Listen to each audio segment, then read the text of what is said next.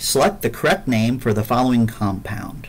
All right, you'll notice this picture is ever so slightly different than what you have on your um, test, but technically it is the exact same thing, slightly rotated. Um, I'm using a program that colors some of my alkanes and heteroatoms slightly different, but it is actually the same thing, just rotated.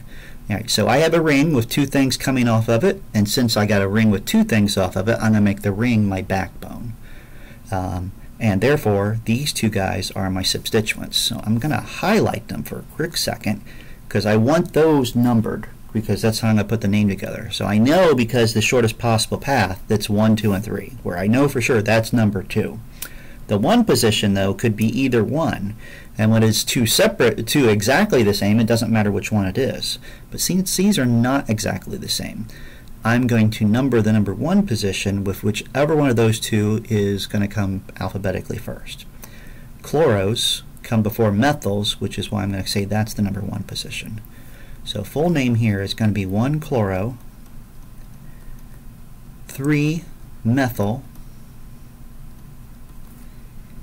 cyclopentane, all one word.